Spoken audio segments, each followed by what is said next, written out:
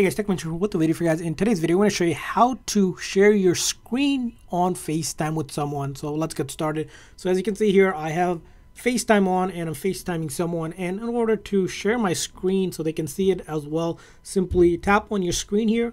And then up top here, you'll see the option to share. And if you click on share, you'll see there's an option to share my screen and now you can share your screen you can do all the other things as well like listen and play together and collaborate with some of the tools that are available here as you can see here.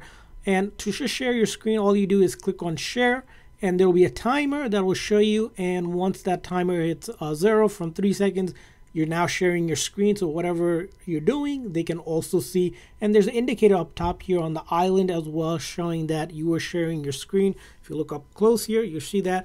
Now in order to stop sharing simply click on that and then you want to click on the same button right here and that will stop sharing your screen. And if you want to share again simply same thing. If you click it again that menu will pop up. You can share and then a timer will begin again and then to turn off sharing your screen same thing click on that. And mm-hmm. also if you end the FaceTime call of course screen sharing will also end as well. And that's it for this video. I hope you guys found this video helpful. If so please make sure that like and subscribe button for future tips and tricks for your iPhone and other iOS devices. See you guys next time